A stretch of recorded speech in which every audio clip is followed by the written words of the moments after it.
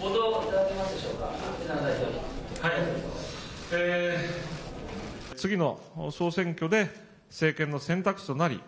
国民の皆さんに政権として選んでいただくべく、最大限の努力をするというのは、どなたが代表であっても、それからどんな小さな勢力であっても、最大野党の責任だというふうに思っていますので、全く従来とそこについては変わりはありません。あのは、それはとにかくやっぱりあの政権交代ということに尽きると思うんですが、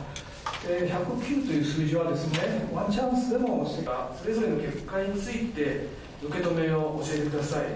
えーそしてこの大枝野代表、先ほど、えー風通しのいいえー組織運営にしたいとおっしゃってましたけれども、具体的な人事について、あの目指していく社会は、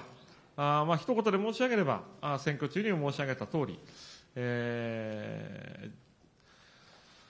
うんそうですね、えー自助やあ過度な自己責任ではなくて、えーし支え合う社会を作っていくと、お自己責任から支え合う社会へ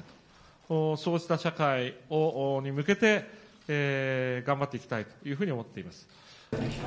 またその縦割り行政などの問題意識にも共通点になる自民党総裁選なんですが官房長官を経験されたトップ同士の対ありがとうございました。よろしくお願いします。